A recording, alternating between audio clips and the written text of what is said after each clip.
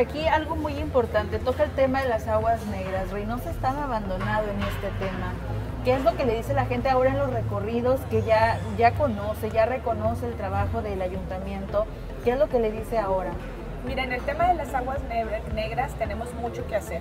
Tenemos un rezago de 30, 40 años en donde nunca se cambiaron las tuberías, en donde no se rehabilitaron y entonces ahorita abrimos y ya no hay tuberías. Es nada más el drenaje corriendo entre la tierra. Hemos tenido también que trabajar en los cárcamos que tampoco habían sido rehabilitados. Entonces estamos rehabilitando cárcamos, las tuberías y esto tiene diferentes cosas. Primero, se ocasionó por la falta de atención de los gobiernos de no haber invertido en rehabilitación y mantenimiento de nuestras tuberías, de nuestro sistema de drenaje. Segundo, fue en la ciudadanía que también tiramos todas las alcantarillas. Hemos encontrado sillones, colchones, triciclos, animales muertos.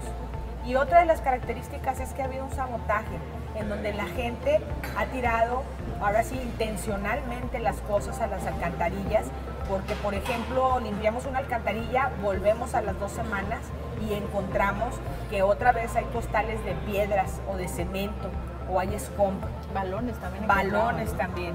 Y en el tema del agua potable, de la presión y el acceso, llegamos a una ciudad donde solamente el 30% de las bombas existían. Entonces hemos tenido que estar comprando más de 20 millones de bombas para poder aumentar la presión del agua. Y ahí también hemos encontrado un sabotaje en las colonias donde se, se, cierran llaves de paso, donde se descomponen válvulas, donde se rompen tuberías. Y esto yo le digo a los ciudadanos, es dañino para todos, no lo podemos hacer. Esto crea problemas de salud.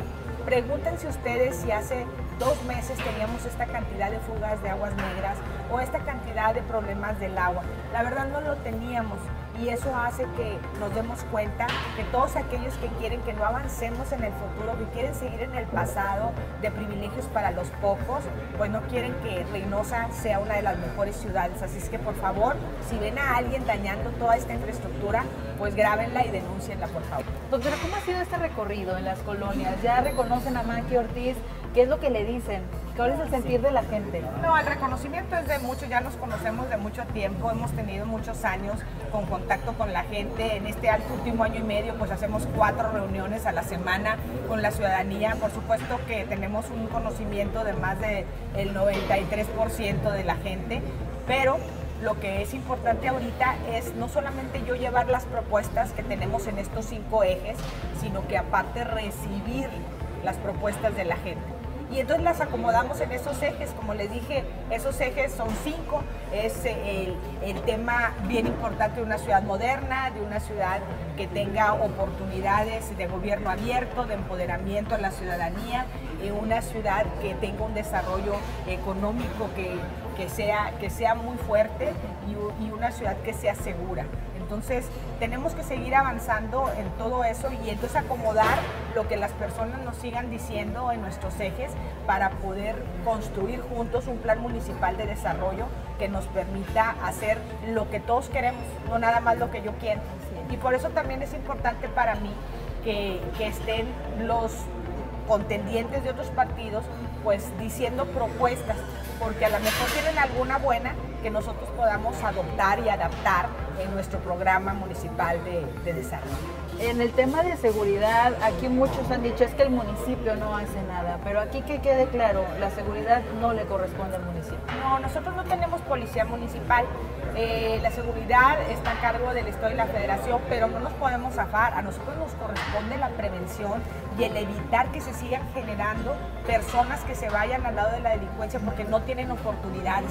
Y en eso hemos hecho un gran esfuerzo con nuestro programa de becas, el más grande en la historia de Reynosa, o nuestro planteamiento de ser un municipio gestor y facilitador para que se creen empleos en esta ciudad donde hemos generado la mayor parte de los empleos de Tamaulipas.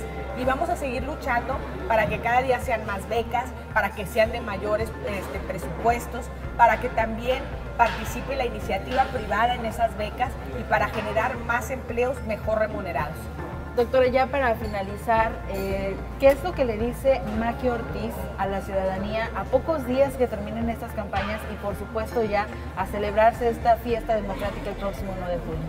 Pues mira, a los hombres les digo que nos sigan dando oportunidad, que saben que en este momento Reynosa necesita una mujer administrando la ciudad porque somos buenas para ahorrar y para extender el gasto y lo hemos demostrado en este año y medio donde hemos creado lo que nunca se había hecho en siete años juntos.